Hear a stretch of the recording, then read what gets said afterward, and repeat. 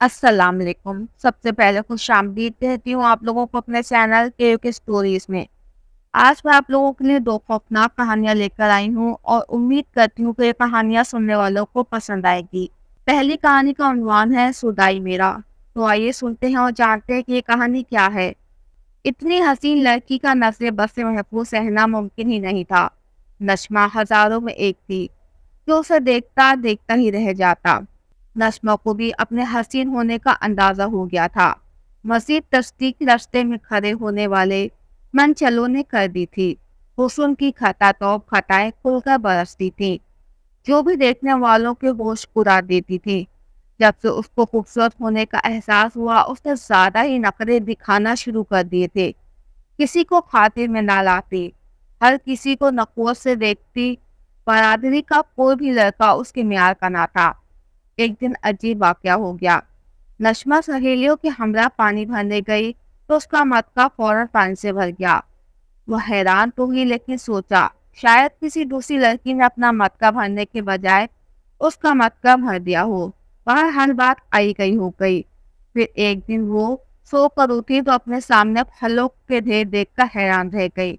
फिर यूँ होने लगा कि यूँ ही वो किसी काप को फाट लगाती वो फ़ौरन हो जाता। झाड़ू लेना चाहती तो लम्हों में पूरा सहन साफ़ हो जाता। आटा गूंथने की देर होती तो फ़ौरन रोटी सालन तैयार हो जाता। पानी भरना, कपड़े धोना बहुत आसान हो गया था। जिस भी चीज़ की ख्वाहिश होती, बस शुरू करने की देर होती तो फ़ौरन हो जाती। ये बातें कब छुपी रहती हैं? पूरे गाँव में शोर मच गया। अब तो उसको बेहोशी के दौरे भी पड़ने लगे थे। कोई काम उसकी मर्ज़ी के खिलाफ होता तो पूरे घर के बर्तन चिकना शुरू कर दिए जाते।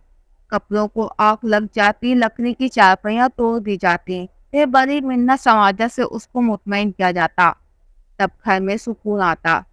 घर वाले इन हालात से सख्त परेशान थे। कई जगह से पानी पानी दम करके पिलाया गया। मगर कुछ अपाका ना हुआ, बल्कि उसका गुस्सा और शदीद हो जाता।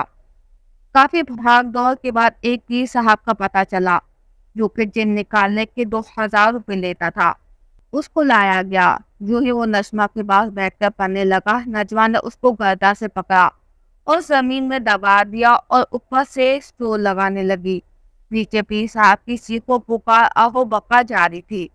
बड़ी मुश्किल से उसकी गर्दा छुड़ाई गई। जो ही पीर साहब आज़ाद हुए, नंगे पाँव दरवाजे की तरफ़ भागे। घर वाले आवाज़ें देते रह गए। पीर साहब ने तो मुड़कर भी ना देखा। पूरा गाँव पीर साहब की दुर्गत देखकर खौफजदा हो गया। गाँव वालों ने नशमा के घर भी आना जाना छोड़ दिया।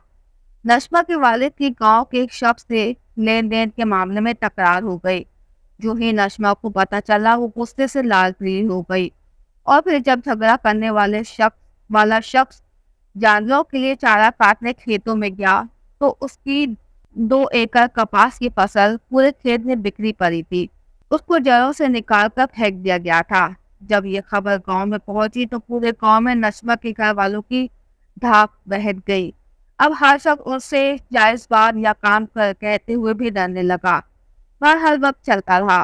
अब किसी ने नशमा के घर वालों को मशवरा दिया कि नशमा की शादी कर दो। कोई जिन नहीं, सब फ्रॉड है। दस वो शादी करना चाहती है। शादी हो गई तो वो सब ठीक हो जाएगा। एक दूर के रिश्तेदार को कायल किया गया। जब वो लोग रिश्ता देखने आए तो नशमा के चेहरे का रंग मुतफरीर हो गया। जिस गाड़ी में रिश्ते वाले आए थे, वो खाली घर की बाहर करी थी। देखते ही देखते उससे शोले उठने लगे। वो लोग हैरान और परेशानी का शिकार हो गए। बड़ी मुश्किल से जान बचाकर वापस गए। नशमा के घर वाले सख्त अरब का शिकार थे। उनकी रातों की नींद और दिन का सुकून हारत हो गया था। फिर एक आलिम के बारे में मालूम मिली। वो बामल बाकरदार पाकिजा ख्याल के मालिक, हमदर्द वसार और बखैर लालच के इंसानियत की खिदमत कर रहे थे। उनके पास नजमा के घर वाले गए, तमाम हालात गोश गुजार किया और मिन्ना समाजत करने लगे। आमिर साहब इन लोगों की मजबूरी देखकर फ़ौरन उनके साथ गाँव आ गए। जब वो बुज़ुर्ग नशमा के पास बैठ गए तो उनको देखते ही देखते नशमा के देवर बदलने लगे। वो ऑल फुल बोलने लगी, मैं तुम लोगों को देख लूँगी। तुम कौन होते हो मेरी ज़िंदगी में दखल देने वाले? मुझसे जो भी टकराया रेजा रेजा हो गया। तुमको मेरी ताकत का अंदाज़ा नहीं, मैं तुम्हें अभी बताती हूँ। फिर इस दौरान सहन लोहे के तार पर टंगे कपड़ों में आग लग गई। लोगों का जमखेर था, वो ये सब देखकर बहुत हैरान और परेशान थे। इस दौरान आलिम साहब जलाल में आ गए और कहा, अब मैं तुमको कमाल दिखाता हूँ। उन्होंने आवाज़ निकाली, मुझे खाने के लिए भुट्टे चाहिए। कुछ ही देर गुजरे, सहन भुट्टों का तेल लग गया। फिर इस दौरान पालों से पकड़कर नजमा को झटका दिया। अब तो नजमा ज़ोर ज़ोर से चीखे मारने लगी और माफ़ी मांगने लगी। तो आमिर साहब ने घर वालों को कहा कि एक मन सरसों का तेल एक कढ़ाई में डालकर खूब गर्म करो और उसको लेकर आओ। मैं इस गर्म तेल में इसको डालकर इसका तेल निकालना है। यह सुनना था कि नशमा आलिम साहब के पाँव में गिर गई और माफ़ी मांगने लगी। बोली, आप जो हुक्म करेंगे, मैं मानूँगी। सारी ज़िंदगी इस गाँव में दोबारा नहीं आऊँगी। आइंदा किसी इंसान को तंग नहीं करूँगी और ना ही उसके पास रहूँगी। आप जिस तरह चाहेंगे, मुझसे तसल्ली कर लें। बस मुझ पर तरस खाएँ और मुझको ना चलाएँ अपनी तसल्ली कर लेने के बाद आमिर साहब ने उसे माफ़ कर दिया। वो दिन गया और आज का दिन नशमा को दोबारा दौरा नहीं पड़ा। उसकी शादी हो गई और अब वो अपने तीन बच्चों और खावत के हमला खुशहाल ज़िंदगी गुजार रही है। उम्मीद है कि एक पहली कहानी आप लोगों को पसंद आएगी। मैं अपनी दूसरी कहानी का आगाज़ करती हूँ, जिस कहानी का उन्वान है, खाली घर में अमरूद का पेड़। ये तब की बात है, जब मैं बहुत छोटा था, तकरीबन आठ या नौ साल का, और इस वक्त हम इंडिया में रहते थे। हमारी फैमिली किराए के घर में रहा करती थी। हम जिस घर में रहते थे, उस घर में एक अमरूद का पेड़ हुआ करता था।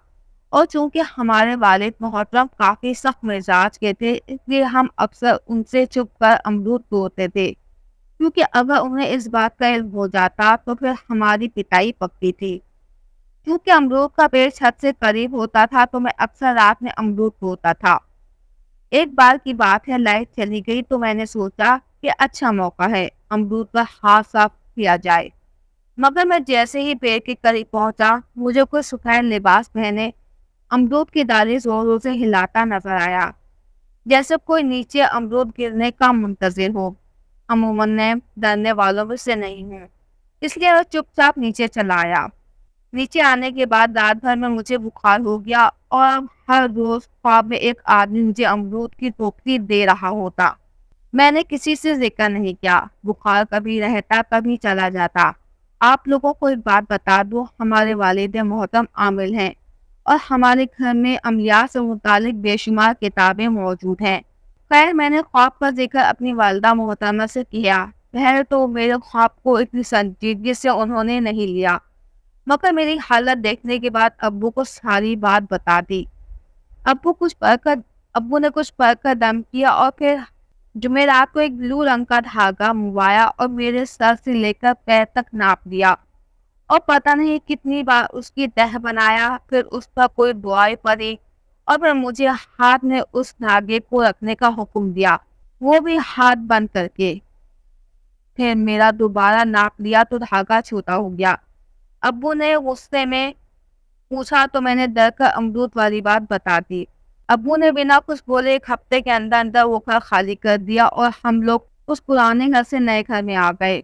और उसके बाद जितने भी घर किराए पर लिए, उसमें कभी पेड़ देखना नसीब ना हुआ। और वो घर खाली करने के बाद मुझे फिर कभी वैसा ख्वाब दोबारा नहीं आया। उम्मीद करती हूँ कि ये दो कहानी आप लोगों को अच्छी लगी होंगी। अगर कहानी अच्छी लगी तो प्लीज़ इसे लाइक कर दें, शेयर कर दें और हो सके तो मेरे चैनल को सब्सक्राइब कर दें और अपनी राय का भी हिसाब ज़रूर कर दें। शुक्रिया।